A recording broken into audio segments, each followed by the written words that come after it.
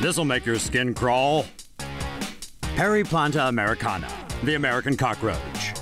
These pests can be found in sewers, walls, beds, floors, cereals, and all sorts of nooks and crannies. And going by a video from electronic repair experts Tronics Fix, they also nest inside PlayStation 4s. According to Gizmodo, who spoke to several repairmen about the problem, it's more common than you'd expect. And before all you PS4 haters begin your trolling, it's worth mentioning cockroaches have been found in other consoles as well, okay? But the PS4 is apparently choice accommodation, as the vents are ideally located for the bugs to come and go as they please. The power supply is warm enough to keep the bugs feeling toasty.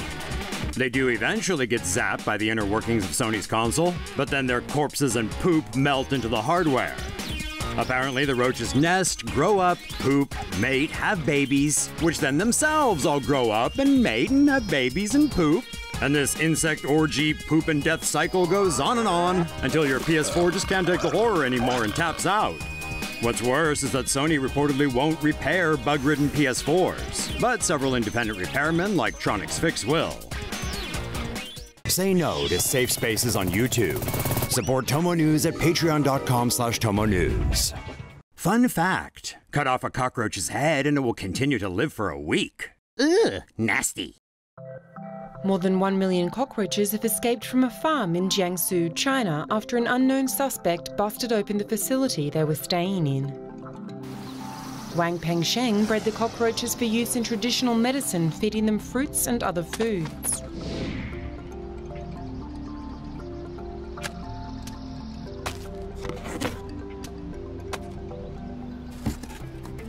Section of the greenhouse they were bred in was busted open and the pests spilled out. Disease control are now investigating ways to stamp out the problem, but it doesn't look good for Mr. Peng Sheng, who claims he is in out thousands of dollars. He had expected to make around $160 for every kilogram of cockroaches he sold. Live cockroach removed from Chinese woman's ear. A woman in China received a doctor's diagnosis that will make your skin crawl. Video of the emergency procedure surfaced on December 6th and is making the entire internet squirm. The woman says one day she felt something fly into her ear. She could feel it buzzing around in there, but she just couldn't get to it. She says its wings were flapping and the pain and discomfort she was feeling became unbearable. When she went to the doctor's office, physicians used an endoscope to get a better look at the problem. Inside, they found a nasty intruder, making a commotion deep in the woman's eardrum. The doctors sprayed her ear with a chemical to calm the bug down. They used tweezers to get up in there and carefully yank the trespasser from her ear. It awoke a short time later, fully alive. Doctors believe the creepy crawler may have been attracted to the woman's warm ear as a result of food being left by the bed. Let that be a lesson to us all. No eating in bed. Everyone's worst nightmare. A woman in India got the shock of her life after discovering that the crawling sensation up her nose was in fact an actual creepy crawler. The 42 year old domestic worker woke up to an itchy, tingling feeling in her nasal cavity that soon turned painful. Doctors suspected a nasal growth before deducing it was a foreign body moving around.